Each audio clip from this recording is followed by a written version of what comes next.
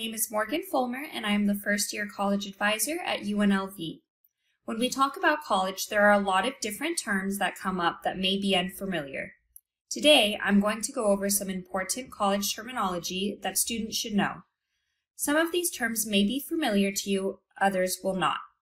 Colleges are institutions of higher education that grant degrees and certificates.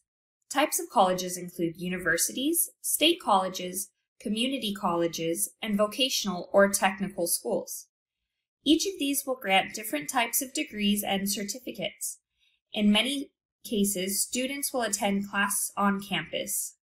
The campus is the physical space a college uses. However, many students also take classes online and only attend campus once in a while, or in some cases, not at all. A term that you may hear often is credit or credit hour. This is a unit that a college uses to show that you have completed and passed a course. Typically, courses are three credits, but there are some cases where a class is one credit or two credits, and some cases where a class is four or more credits.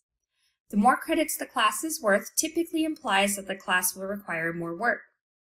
A full-time student would take at least 12 credits per semester or 15 credits per quarter. A degree is something that students are awarded once they have completed all of their courses and other requirements. There are a couple of different types of degrees. There are associate degrees that take about two years to earn. Bachelor's degrees are an undergraduate degree that usually takes about four years of study to earn. There are also master's degrees, which is a type of graduate degree that typically takes two years to complete. Students would pursue this degree after receiving their bachelor's degree. Another type of graduate degree is a doctoral degree, which students would pursue after a master's. These degrees can take anywhere from 5 to 10 years to earn. A certificate is an academic credential that is awarded to a student who completes a program and usually takes less time to earn than a degree.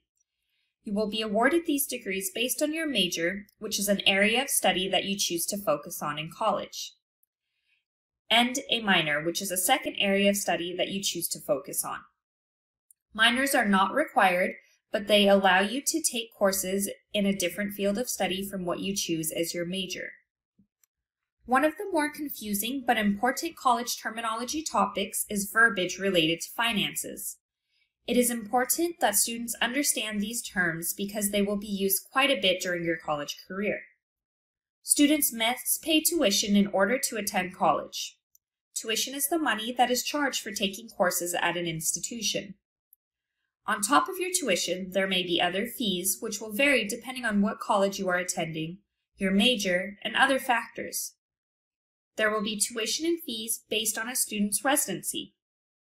Residency is divided into two categories, in-state and out-of-state. In order to help students pay for college, they can apply for scholarships as well as financial aid. Scholarships are awards from institutions, companies, or individuals, and the award value will range depending on the scholarship. Financial aid is money students can receive by filling out a FAFSA or alternate need form and can come from the government, the college, employers, and other organizations. These funds are usually reserved for students whose families have lower incomes. The FAFSA is a, the free application for federal student aid. Each year, this is released online and students can fill it out. Financial aid can come in the form of a grant or loan. A grant is money that does not need to be repaid. A loan is money that will need to be paid back later with interest.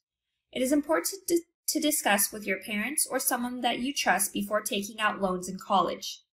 This can be very difficult to understand, so if you have any questions, reach out to a Gear Up staff, teacher, or college staff member for more help. There were a lot of new terms today, so if you ever have any questions, reach out to one of your Gear Up staff members. We'd love to chat with you and help you with all of your college questions. Thank you for watching.